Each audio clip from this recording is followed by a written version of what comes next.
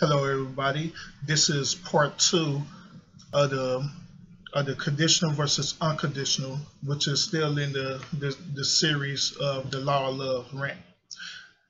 Last last time I, I left off by explaining the different changes and stuff in in the relationships, which is dealing with the conditional part. You know, I was saying that that people people changes. You know, a woman go through changes and a man go through changes as well and stuff. And overall, I was just letting you know that you shouldn't place an unfair, uncompromising um, parameters in that when people are changing like that. You know, and and I don't want to discover that many relationships is based on that, based on certain changes that happen within relationships, especially dealing with marriages. Um, where where all of a sudden the the wife they just uh, the wife or the woman she just feel you know incomplacent feeling that she haven't accomplished nothing or different things like that or feeling that she's not pretty enough or beautiful enough you know because she done went through different changes you know. She done went through change, changes physically and went through changes mentally and stuff you know. And and she does need that type of reassurance to, to know that even though she's going through this process and stuff, that, that she's still beautiful, that she's still the same person. And it's up for the for the husband or the or the man to help her get to that that certain um, positive change that she's trying to get to. You know what I'm saying? And that and in that that requires for both to be open with each other you know, uh, it, it, may be something like uh, the the, uh, the the wife or you know the woman. She she probably want to do something different from for a change. Like um, instead of instead, of, I mean, like for example, like instead of working, she might want to be a housewife. You know, or may want to convert from being a housewife to working, want to be career driven, you know, you know I'm saying, to have a some sense of purpose, you know, and this is the same thing as as uh, men as well and stuff. Sometimes we get to that certain point uh, within our relationship that you know we want to do something the want to spice relationship or we want to do something that that requires a certain type of change physically and mentally. But even through that and stuff, you know, I'm saying, uh, you you got to you you you got to be reasonable with it. You you can't just um, force your husband or your wife or you know your boyfriend girlfriend whatever to do stuff that you want them to do when you do that you place them into a condition you know what i'm saying like like the, the same example if you if you want to do something if you can't make nobody do nothing you know know what i mean? And that's what causes a, a problem in a relationship you know? You you have to want you that person have to be willing to want to want go through that process too. And and all that deals with communication uh that's really um uh, verbalizing how the way you feel about uh this situation and and just learning how to speak to people, you know, the right way. I learned that in a relationship that many of us we don't even know how to talk to each other, right? We talk to each other like we, you know, like like we each other kids or something, being disrespectful stuff, and that causes a problem in a relationship. Instead of us, you know, being honest and real. You know, some some people um they, they even told me that well, this is the way how I am. You know that I talk this certain way, so I'm gonna be this certain way, and you can't change me, which that is true. Um, nobody can change you how the way you are but you you know what i'm saying? If you know that you you're the type of person who who's more demanding that who can't verbalize themselves very well where where it seems like it comes out rude or disrespectful then that's up to you to realize that and to uh, want to work on that. You know that's the whole process of growing you know what i'm saying? Growing on spiritually as well and stuff you know what i'm saying? If, it, if it's something that that causes somebody discomfort or whatever, don't don't be don't have that attitude like, well, oh well, it does you just have to accept me for me. Now, you messed up. You know what I'm saying? That's something personal that that you have to deal with. You have to learn how to communicate to somebody properly so where they can understand what you're saying. If not, then they're gonna take it the wrong way and they're gonna go from from cloud nine to zero to one hundred in a minute. You you know what I mean? So so that that's the one that's a key thing with, within especially in this um, conditional parameters too is about that you know? So um even even with that even uh within having conditions and stuff on i actually looked up the definition. I want y'all to do the same thing. Look up the def definition of condition. And it will, it will really surprise you what condition really means But basically, it means the same exact thing that what I'm telling you that it means that you end up putting rules, regulation, laws, um, you, you put parameters, um, you demanding certain things that, that a person should do you know and if they don't do what they that you demand them to do then you know as i said that's it it's a wrap it's going to be a problem. And that's not uh, unconditional love at all. You placing conditions in love you know.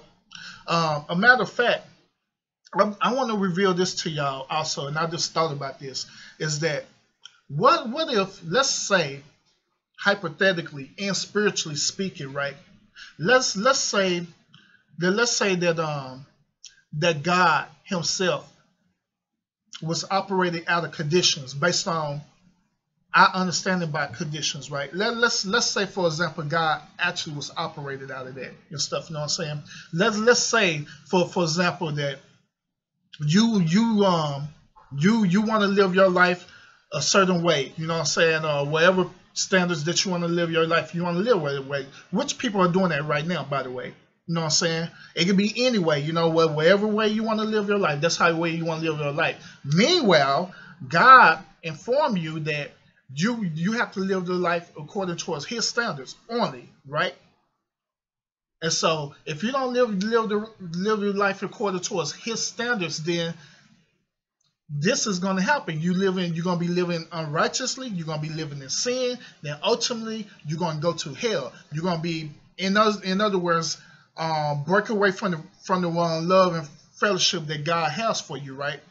Now, would that sound fair to you? Would that sound fair at the end? You end up, um, you know, passing away, going to heaven, and um, and God see you and be like, "Hey, God, um, I didn't live my life according to you know your standards." Then He like, "No, you didn't, because I wanted you to do this, that, and this and that, and you didn't do it." You know what I'm saying? So I don't want to have nothing to do with you. You know, because you wouldn't want to live your life according towards the standard I want you to live towards. You know what I mean? So how would you feel about that? Would you feel hurt about that?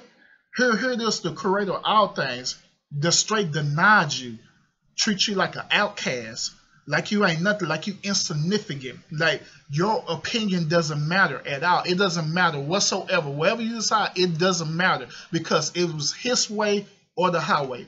Doesn't matter if he's doesn't imagine him being that way to you. How do you feel about that? You'll you'll feel that that's wrong. Pretty, that's pretty much most of you will, will agree with me that you feel that that's pretty much wrong. Matter of fact, most of y'all will even go into the Bible and say, well, God is grace. You know what I'm saying? He, he, he, His grace is sufficient and stuff, you know, and also many of you, you'll, you'll even take what I'm saying and start going into the law about, about the law and the commandments and stuff like that. Like, well, God did say this and that, that and that. You know what I'm saying? Which this is not, this particular rant is not a, a debate for that right now, you know. The, another rant, another time. But how would you feel about that? You know, you you will feel hurt about that. Now, let's flip this thing around. Let's deal with with God now. Him based on having an unconditional love for you, regardless of uh, how the way you are or how the how the way you perceive to live your life. You know what I'm saying? He still love you. Um, he still care about you. He still take care of you. He still do all these things for you. You know what I'm saying? Um, in you right now. You're you're breathing, you have a life, you know what I'm saying? Um, different things, you have different abundance of things. And that because of as I was saying earlier about the love of God, you know what I'm saying? The love of God also could be translated with the grace of God, you know, and that's basically what the grace of God is really tangible saying is the grace of God is really tangible saying the same things that he loved you so much that he's willing to give you unmeasurable favor. You know what I'm saying? Even though he don't have to do it, but he's willing to do that. And that's the, the whole parameters of unconditional love. Unconditional love, there's no set standards of receiving it. You know what I'm saying? Just like grace. There's no set standard of receiving grace. Grace is grace. It's what it is. It's unmeasurable favor. You know what I'm saying? Same thing with his love. His love is unmeasurable.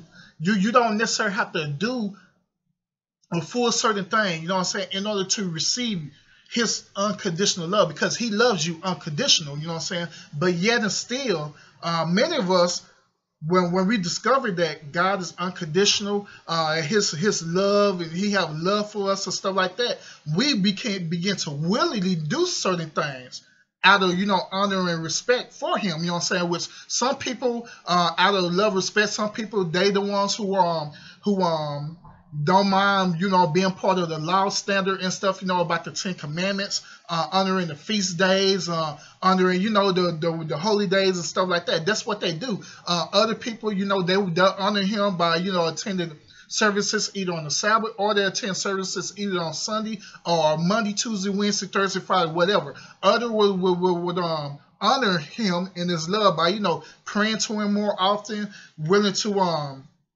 help people because that's no because they know that's where God heart is at. That they'd be more than willing want to to give to people and stuff like that because that's where their heart is at. You know what I'm saying? Because they know where the creator heart is at. You know what I'm saying? And when they do stuff like that, they begin to display the true unconditional love. They're in other words, they lining up with the one with the most high God, with the Father. You know what I'm saying? They lining up with, with his unconditional love versus being conditional, which is conditional. You're not lining up at all. You're not even in unity at all. You you two totally different things, two totally different entities all together. You know what I'm saying? And so that that's the whole point, and that's the whole difference of understanding the difference between conditional and unconditional. Conditional, it has rules and it has standards, and it's a limit towards how far you can go unconditional, um, there's no limit on how far you can go. You could go as it could, it's endless. You could go infinite. Love is infinite because the Most High God is infinite. You know what I'm saying? His love is infinite. So if you learn to transfer His love into your being and in understanding that, then you you'll achieve also unconditional love. Then in turns, you'll begin to um, partake and begin to um, teach your significant other too the, the same way. Like, hey, if God love me this, that way, you know what I'm saying? Why not? I love him or her the same exact way too, treating her unconditional love, regardless of what's going on, regardless of how she uh, is or are, you know what I'm saying, that you love that person, you know what I'm saying? You you um you, y'all both love each other unconditionally and stuff like that and stuff, you know what I'm saying? Reasonably, by the way love each other unconditionally. You know, you know what I'm saying? With no strings attached where you won't get mad because you know your husband didn't rub your feet, you know what I'm saying? Or your husband get mad because you didn't have sex with him. You know what I'm saying? Um it be um it be unconditional, you know what I'm saying? It be an understanding, it be a mutual understanding that regardless of what happens, is that you'll be committed to each other. You know what I'm saying?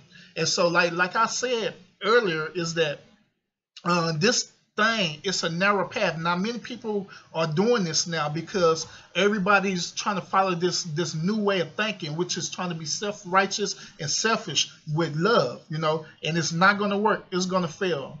Well my time is up so um uh, like i always fight faith with faith and i'm always praying with y'all. God bless y'all